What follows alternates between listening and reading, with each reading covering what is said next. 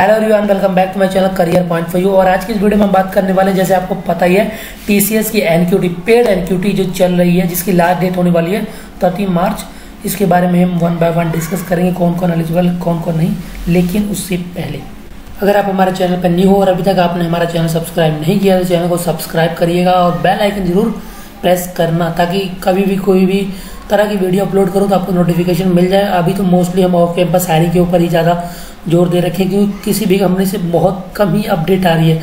Last time हमने सेंचर TCS Wipro और क्या बोलते हैं, और जो उनकी ऑफ़ कैंपस हायरिंग है, कब तक होगी उनके ऊपर वीडियो कवर की थी। उसके अलावा सारी ऑफ़ कैंपस हायरिंग ही चल रही है। आप देख भी सकते हो, ठीक है? इसके अलावा अगर आपको कोई डाउट होता है ना किसी कंपनी से रिलेटेड तो प्लेलिस्ट में वीडियोस पड़ी हुई हैं, आप एक बार जाके गो थ्रू हो सकते हो, ठीक है? देख सकते हो Tech Mahindra Capgemini Cognizant Wipro जो Accenture T C S Infosys सभी की अवेलेबल है, ठीक है? तो चलिए अपने वीडियो को स्टार्ट करते हैं। तो जैसे हमने पहले ही बात की थी, ये होने वाली पेड एनक्यूटी तो ये इसका पता कैसे लगता है? तो जैसे आप एक्सप्लोर पे क्लिक करोगे ना, जैसे आपने लिंक पे क्लिक किया एक्सप्लोर पे क्लिक करोगे तो आपको सीधे नेविगेट कर देता है देखो।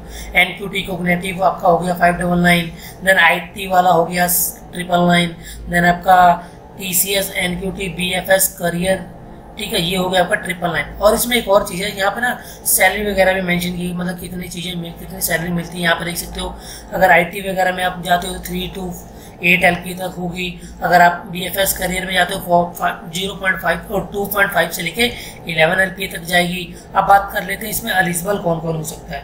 तो यहाँ पे एलिजिबिलिटी क्राइटेरिया ज़्यादा कुछ है नहीं। मतलब देखो 2018 से लेकर 24 वाले कोई भी एलिजिबल हो सकता है और ज़ीरो से लेकर दो ईयर तक एक्सपीरियंस वाला भी अप्लाई कर सकता है। और pre final year student from any stream मतलब कि आपका अगर आप 25 ईयर पास आउट हो 24 आपका होगा क्या बोलते हैं प्री फाइनल ईयर तो आप अप्लाई कर सकते हो।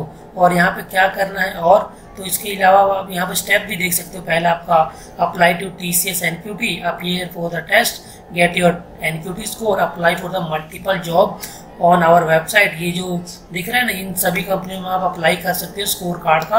इस्तेमाल करके T C S Tata Elxsi Mphasis Titan हो गया प्रसिस्टेंट हो गया टीम लीस हो गया वेदांतु हो गया, बहुत सारी कंपनियाँ देखो, आती जाएँगी तो इनमें आप अप्लाई कर सकते हो। ठीक है? तो अगर आप इंटरेस्टेड हो तो अप्लाई ज़रूर करना। मिलते हैं आपको नेक्स्ट वीडियो में नए टॉपिक के साथ। Thank you so much watching have bye